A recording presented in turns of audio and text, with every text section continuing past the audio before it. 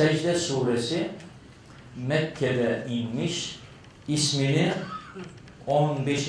ayette geçen süccet kelimesinden alır.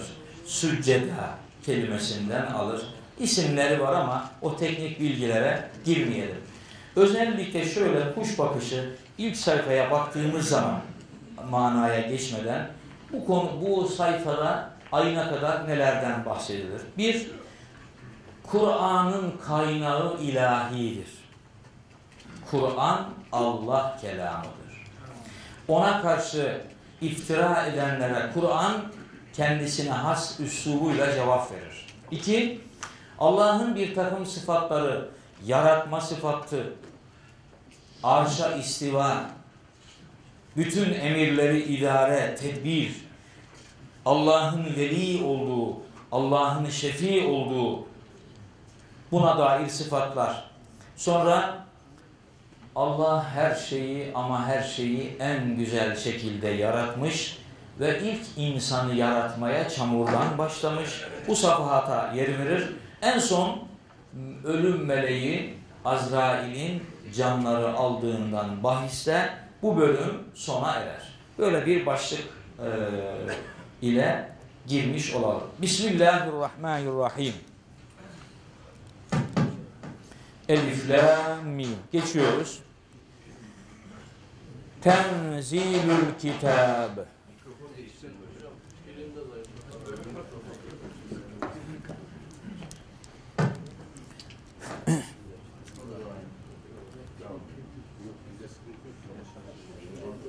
Bu dersi bölmeyelim. Bu şekilde biraz e, yani devam edelim. İnşallah düzelir. Metne bakarak tahtadan dikkatle önce bir kırık mana vereceğiz. Herkes hocalarımız kelime manasına da aşina olsun. Sonra biraz tefsiri manaya geçeceğiz. Tenzilül kitabi kitabın indirilmesi La raybe fih ki onda hiç şüphe yoktur. Min rabbil alemin alemlerin Rabbinden. Toparlayalım. Kitabın alemlerin Rabbinden indirilmesinde hiçbir şüphe yoktur. Kısa Türkçe ile bu. Biraz daha açalım. Yani muttali olamayanlar ha ne kitabı, ne kaynağı vesaire diyebilirler tefsiri bir meale bakalım. Şimdi bu kitabın yani Kur'an'ın alemlerin Rabbi olan Allah katından indirilmesi veya onun Allah kelamı olduğu hususunda hiçbir şüphe yoktur. Sihir, büyü, şairin şiiri, kahinin kehaneti, Buna benzer bir takım uydurma şeyler. Mekkeli müşrikler. Bu sayfa Mekkeli müşriklerle Allah Resulü arasında Kur'an bağlamında bir mücadeleyi kısa kısa kesitlerle bize öğretmektedir. Evet, öyle diyorlar. La raybe fi Kur'an'ın içeriğine dair değil, Kur'an'ın kaynağının ilahi olduğu hususunda hiçbir şüp, şüphe yoktur. La raybe fih o manada. Em yoksa yekulune diyorlar ki iftarahı o onu uydurdu. Açacağım biraz sonra. Ben hayır asla. Hüve o kitap el hakku min rabbik. Rabbinden haktır. Litunzira kavmen bir toplumu uyarman için ma etahum onlara gelmeyen min nezirin bir el, e, uyarıcı min kablik senden önce leallehum belki onlar yehtedun doğru yolu bulurlar. Bu kırık manadan sonra toparlayalım şimdi. Mekkeli müşrikler Kur'an'ı Muhammed uydurdu diyorlar. Öyle mi? Hani soru var ya em öyle mi? Hayır asla. Kur'an Muhammed tarafından uydurulmuş bir kitap değildir.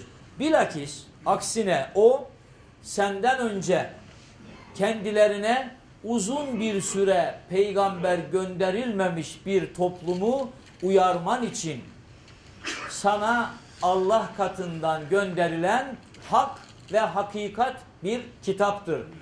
Umulur ki o Mekkeli müşrikler bu kitap ile doğruyu bulurlar. Ma etahum min nezirin min kablik. İlk bakışta Arap toplumuna Mekkeli e, müşriklere hiçbir peygamber gelmediği anlamını verse de öyle değil. Bu Arapların geçmişe doğru, atalarının geçmişine doğru uzun bir süre risalet, peygamberlik, fetret devresi yaşamış. Hazreti İsa'dan peygamberimize kadar e, ilahi vahide bir fetret, bir ara dönem Kur'an'daki bu ayetteki kasıt odur. Yoksa hiçbir toplum yok ki kendilerine peygamber gönderilmiş olmasın. Ayetlerle bunu da biliyoruz.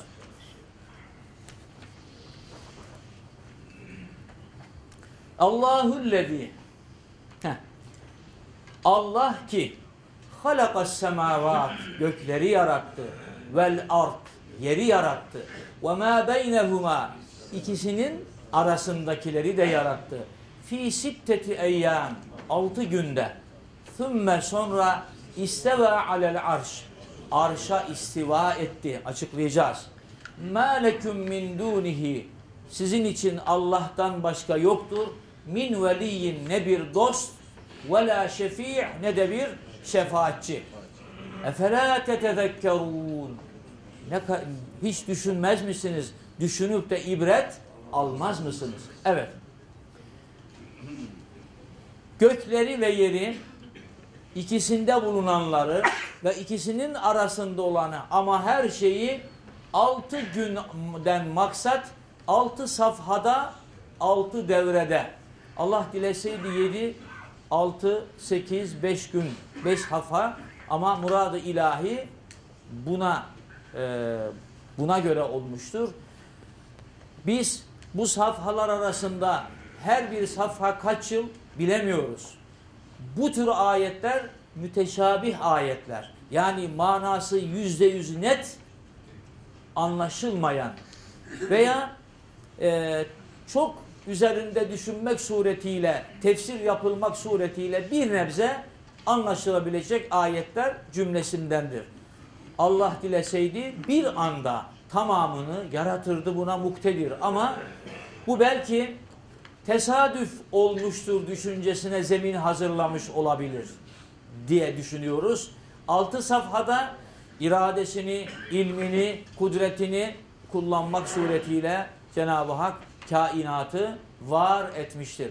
Biraz sonra insanın yaratılış evresine geleceğiz. Orada da öyle.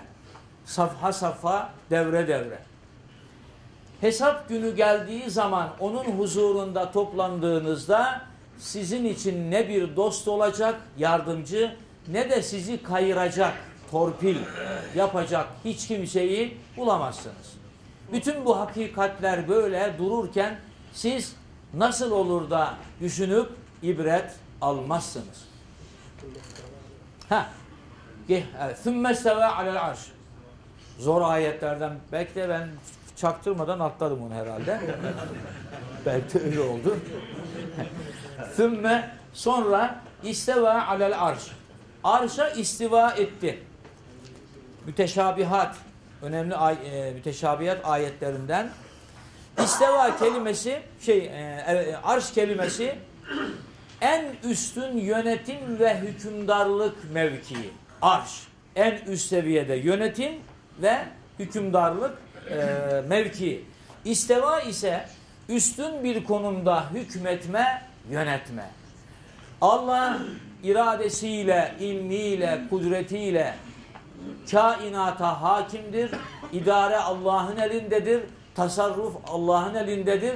İstediği varlığına istediği şekilde tasarruf etme hakkına, gücüne sahip olandır. Kainat Allah'ın elindedir, kudretindedir. Mesela notlarımdan bütün mevcudattan üstündür Allah.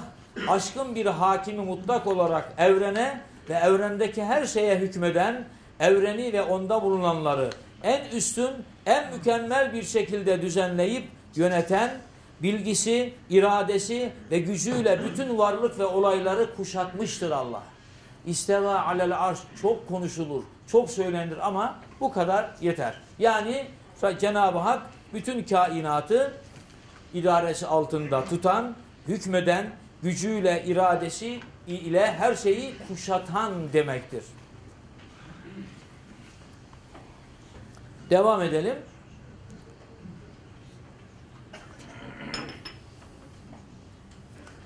Yüdebbirul emra. O işleri idare eder. Düzenler, yönetir. Mines semai gökten ilel art yere. İşleri gökten yere doğru sevk, idare, yönetir ve düzenler. ثُمَّ يَعْرُجُ اِلَيْهِ Sonra o işler ona yükselir Allah'a. Fi yevmin bir günde ki kâne mikdaruhu o bir günün miktarı karşılığı elfesene bin senedir. Mimma te'uddun sizin saydıklarınızdan. Topluyorum. O yani Allah gökten yeryüzüne inen emirleriyle kıyamete kadar bütün işleri idare edip yürütmektedir. Tefsirlerde yorumlar var. Şöyle topladığımız zaman ortaya şu çıkıyor. Cenab-ı Hak bütün umuru, işleri melekleri aracılığıyla idare eder. Her bir meleğe veya melekler grubuna kainatta yaptırmasını, olmasını istediği işleri yaptırır, gökten yere iner. İşler idare e, yerine getirildikten sonra, infaz edildikten sonra Allah'a rapor edilir. Ya Rabbi emrin yerine getirilmiştir. Yani bir hükümdan hükümdar düşünün, emrediyor, işler yerine geliyor, elçiler dönüp geliyorlar, sultanım, padişahım bu iş tamamdır. Misalinde olduğu gibi. Mehmet teşekkür ederim. evet. Beraber mi yaptınız bu işi? Allah razı olsun. Beni rahatlattınız. Evet. Dünyanın cezam biraz daha hafifledi. Az bir şey kaldı. evet. Pekala şimdi devam edelim. El fesene. Buradaki yevm kelimesi de kıyamet. Buradaki kasıt da o. Allah'ın katında günler, seneler bizim anladığımız gibi değil. Yani yevm gün demek, 24 saat demek. Allah katında bizim katımızda bir gün aslında kaç senedir o? Bin sene değil mi? Yani bizim bin senemiz Allah katında bir gün. Başka bir ayette surede Me'ariş'te 50 bin sene. Yaratılan ve yaratan arasındaki ilişkide zaman mefhumu kullara göre düşünüldüğü zaman sınırlı, boyutludur. Allah ile Allah noktayı nazarından baktığımız zaman bu öyle değildir. Dolayısıyla yani bizim bin yılımız Rabbül Alemin katında bir gün. Şimdi gelin de bunun, bu işin içinden çıkın. Yorumlar yapılır. Muhtemelen şöyledir. Yapılan yorumlardan yola çıkıyorum. Öyle ağır, öyle çetin, öyle bir gün ki kişiye, kişilere bin sene gibi geliyor. Veya bin senelik işler bizim nazarımızda Allah katında bir günde halledilir. Amenna ve saddakna. ذَٰلِكَ عَالِمُ الْغَيْبِ وَالشَّهَادَةِ الْعَز۪يزُ الرَّح۪يمِ Zalike işte o. Kısa geçiyorum. Görünmeyeni ve görüneni bilendir. Alimul gaybi ve şehade. Görünmeyeni, görüneni. Başka? El aziz, aziz olandır. El rahim, rahim olandır. Şimdi açıyoruz. İşte o şu demek. Gökleri, yeri ve ikisi arasında olan her şeyi altı günde yaratan, arşa istiva eden, işleri gökten yere doğru idare eden Allah duyularla, akılla hakkında bilgi sahibi olamadığımız alemin akılla, duyularla hakkında bilgi sahibi olduğumuz alemi de bilendir.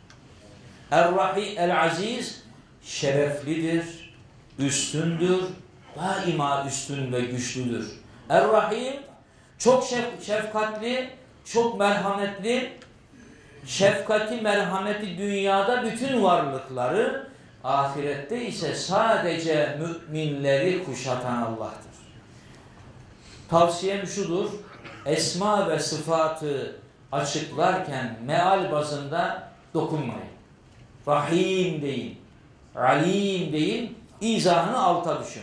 Yoksa onu mealde verirseniz yarım sayfadan fazla belki bir sayfaya yakın mana verir, verirseniz ancak onun karşılığı olur.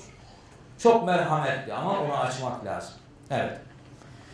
Ellezî ehsene külle şey. O Allah ki her şeyi güzel yaptı. Halakahu. Yarattığı her şeyi. Bir başka kıraat daha var burada. Ellezî ehsene külle şeyin halqah halqah bi iskanillah.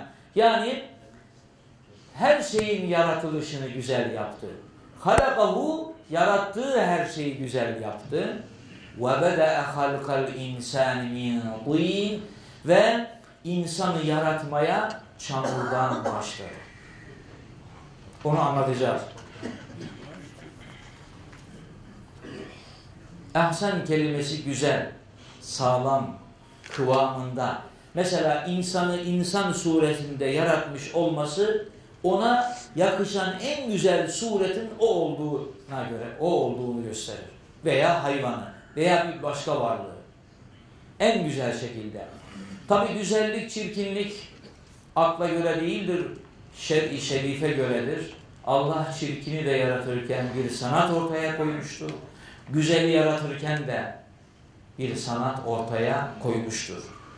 Yarattığı her şeye muhtaç olduğu bilgiyi ve ilhamı vermiştir bir manası. Her şeyi uygun biçimde ve yerli yerince ne eksik ne fazla öyle yaratmıştır. Değerli arkadaşlar Kur'an'ın tefsirinde kavramlara dikkat etmemiz lazım.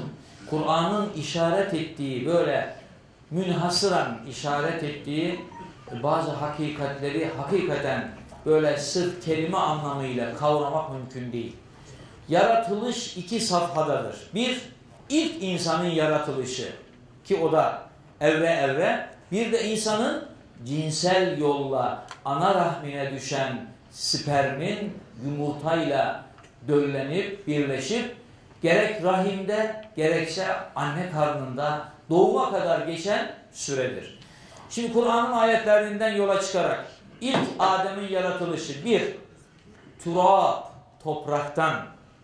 Ma sudan. Tin çamurdan. Sülale min tin süzme çamurdan.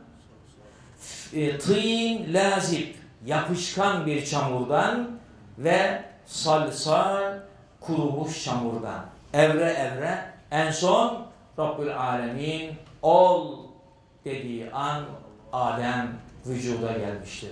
Sırdır bizim için. Anlamamız mümkün değil. Mümkün değil. Bu böyle insanın yaratılışı da yani anne karnına e, düşen insanın yaratılışı da tıp aleminde e, kesin ortaya konduğu üzere öyle hemen değil.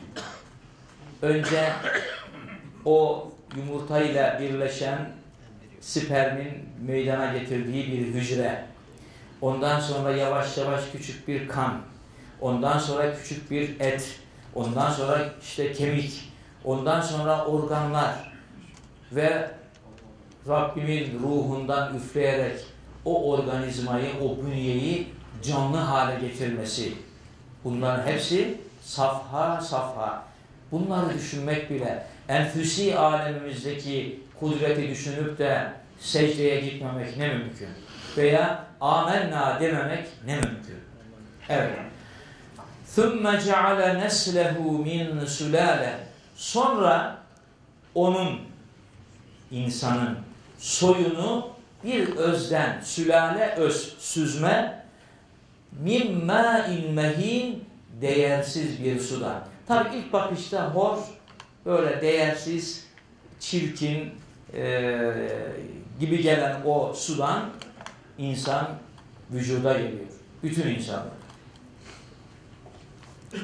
ثُمَّ سَوَّاهُ وَنَفَقَ ف۪يهِ مِنْ رُوحِ Ana karnında onu organlarıyla, o safhalardan geçen haliyle güzelce tesviye etmiş, ona güzel şekiller vermiş.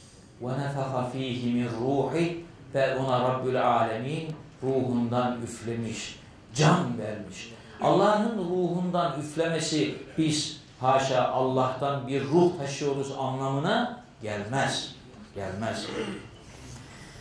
Şimdi ruh üfleninceye kadar bünyede teşekkür eden o varlık henüz ruh üflenmediği için canlı değildir. Dolayısıyla ifadeler ona şöyle yaptı, şöyle yaptı şeklinde gıyabidir. Ne zaman ki ruh üflenip de akılla bezenince ifadeler değişir. وَجَعَلَ لَكُمُ السَّمْعَ Bak akıl devreye girdi, ruh devreye girdi, canlılık oluştu. Biz size duyma hassasiyetleri verdik. Yani kulaklar verdik. Vel ebsar gözler verdik. Vel efide gönüller verdik ki galilen ma teşkurun. Buna rağmen siz ne kadar ne kadar da az şükrediyorsunuz. Evet. Süleyman Ateş Hoca'nın bir e, tefsirinden üç cümleyi, birkaç cümleyi buradan okuyorum. Yani güzel bir tespit. Diyor ki ona ait sözler. Ruh üflenmezden önce insan bir şey düşünemez, anlayamaz. Ama ruh üflendikten sonra yani kendisine akıl gücü verildikten sonra anlayan bir varlık haline gelir. Bundan dolayı ayette insan bu raddesine kadar üçüncü bir kişi olarak anlatılırken kendisine ruh üflendikten sonra ikinci şahıs olarak sana şöyle yaptık, size böyle yaptık ifadeleri kullanılmıştır. Böyle bir yorumu var.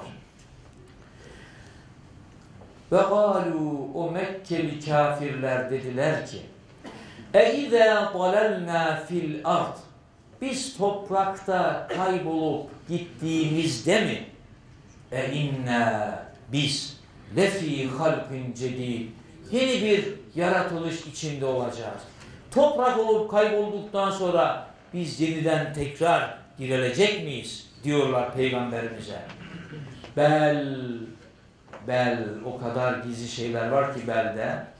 Bel bilakis hayır tamam ama Cenab-ı Hak o sözleri sarf edenlerin niyetini bildiği için bu bel ile şunu ifade ediyor. Ey Habibim onların bu sözlerle niyeti şu değil. Hesabı, dirilişi inkar değil. Onlar ahireti benim huzuruma gelmeyi inkar ediyorlar. Gelmek istemiyorlar. Hiç o tarafta değiller demek istiyor. Bel bilakis aksine hüm onlar biliqai rabbihim kafirun Rableriyle karşılaşmayı tek gözü önüne alamıyorlar, inkar ediyorlar. Evet. Son ayetimiz Kul de ki yeteveffâküm sizin canınızı alır veya sizi öldürür. Melekül mevt ölüm meleği. Ölüm meleği gelir sizin canınızı alır. Ellezî öyle bir melek ki vükkile biküm sizin için görevlendirilmiş olan o ölüm meleği gelir ve canınızı alır.